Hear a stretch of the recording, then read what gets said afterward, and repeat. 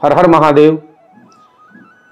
एक प्रश्न भी आया है और एक मैंने वीडियो देखा है, किसी का एक विद्वान है, नाम तो नहीं बता सकता, लेकिन उन्होंने कहा है कि घी और तेल को मिक्स करके, मिश्रित करके दीपक जलाएँ और भगवान के सामने अर्पण करें।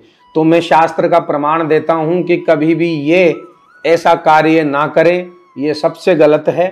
आपको शास्त्र का प्रमाण देता हूँ, कालिका पुराण में लिखा हुआ है कि न मिश्रीकृत्य दद्यातु दीपक दीपम स्नेह घृतादिकम घृते न दीपकम नित्यम तिल तैलन वा पुनः।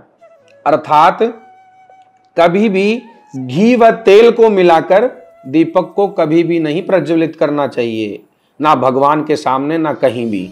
केवल घी का तो घी का जलाए पूर्ण रूप से शुद्ध, या तेल है, तेल का जलाना है तो तेल का जलाएँ शुद्ध रूप से तभी भगवान के सामने या नित्य कर्म में आप प्रयोग कर सकते हैं। इसके साथ में एक और बात है, ज्वालयेन मुनि शार्दूल सन्निधो जगदीशितु, कार्पा सवर्तिका ग्राह्य, न दीर्घा न दीर्घा, न च सूक्ष्मिका। बत्ती होनी चाहिए, वो शुद्ध रुई की होनी चाहिए।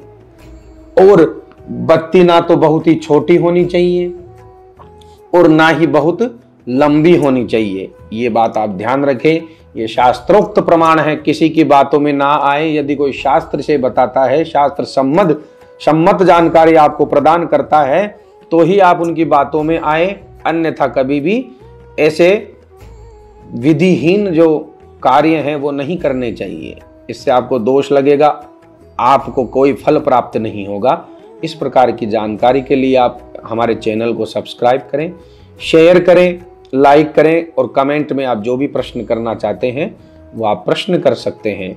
हर हर महादेव।